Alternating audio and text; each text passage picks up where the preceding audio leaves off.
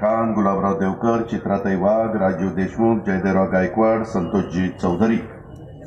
ईश्वर बाळबुद्धे Ravindra Patil Vilas Patil Sanjayji Garud Rajendra Patil advocate Dnyaneshwar Borse Kishor Patil Abhishek Patil Paras Lalwani Jyotitai Patil Pradeep रोडा ऐश्वर्याताई राठोड शैलेशजी पाटील जावेदजी मुल्लाजी विनोद माळी श्याम साळवे भगवानजी भगवानराव पाटील सरोजिनीताई गरुड प्रमिलाताई पाटील.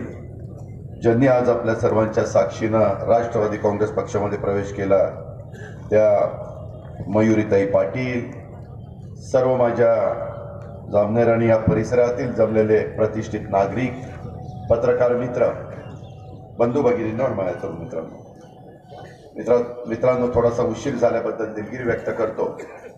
पण कालपासून आम्ही सगळेजण भुजबळ साहेब जयंतराव धनंजय आम्ही सगळेजण आपल्या जळगाव जिल्ह्याच्या परिसरामध्ये. आज ही सभा संपल्यानंतर आम्ही उद्या बुलढाणा जिल्ह्यामध्ये चाललो मी आपल्याला सगळ्यांना स्पष्ट सांगू इच्छितो. मागे हल्लाबोलचं आंदोलन आम्ही केलेलं होतं. त्याची पण मोठी सभा इथं होती. पण काही महत्त्वाच्या कामामुळं मला त्या सभेला येता आलं नाही. त्याच्यामुळं कृपा करून जामनेरकरांनी माझ्याबद्दल कोणता गैरसमज करून घेऊ नये. आणि आज पण खरं तर माझ्या जिल्ह्याचे राष्ट्रवादीचे अध्यक्ष जालिंदर कामटे त्याच्या मुलीचा लग्नाचा कार्यक्रम आता साडेसहाला आहे. मी दिलीप वळसे पाटलांना तिकडे पाठवलं. आज पुन्हा त्या कामानिमित्त मी गेलो असतो. तर काहींनी इथं उठवलं असतं मला घाबरला मला घाबरला. माझ्यामुळंच येत नाही. अशा कुणी कंड्या उठवल्या असत्या. मित्रांनो राजकीय जीवनामध्ये काम करत असताना कुणी कुणाला घाबरायचं नसतं. कुणी त्या ठिकाणी कुणाचा अनादर पण करायचा नसतो. आणि आपली आपली जनतेने दिलेली जबाबदारी योग्य पद्धतीनं पार पाडायची असते. थांबू का जरा?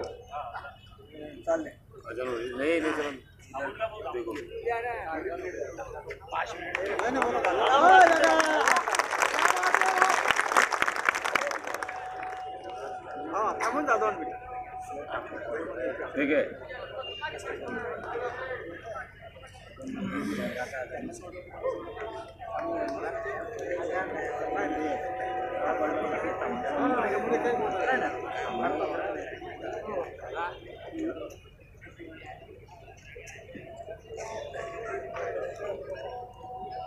गोष्ट झाली.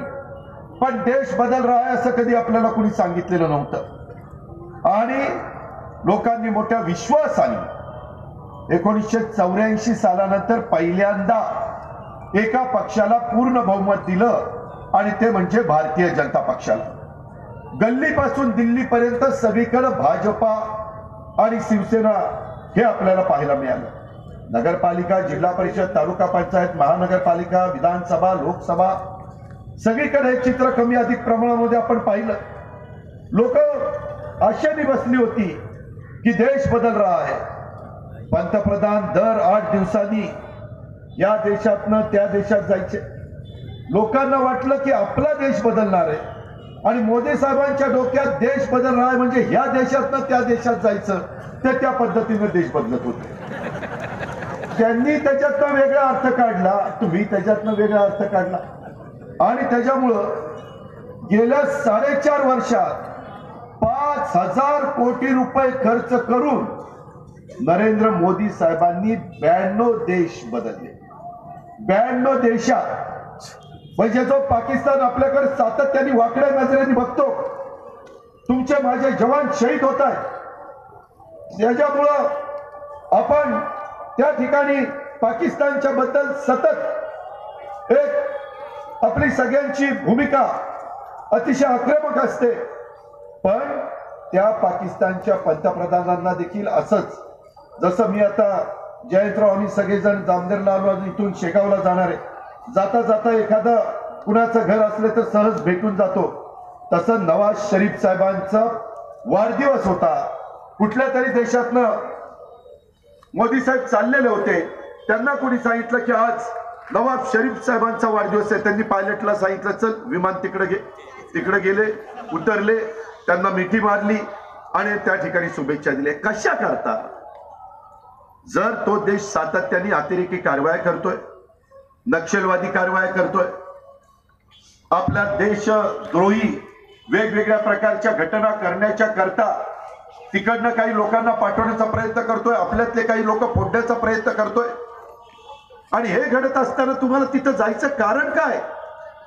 जवान मारला तर मी त्यांचे चार जवान मारले कधी चार जवान मारले? पाच जवान मारले.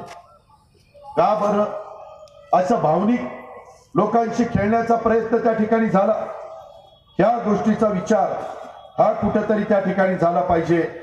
मोदींनी सत्तेवर आल्यानंतर देश तुमचा माझा चालवण्याच्या ऐवजी देश वेगवेगळे बदलण्याचा आणि वेगवेगळ्या देशामध्ये जाण्याचा प्रयत्न केला.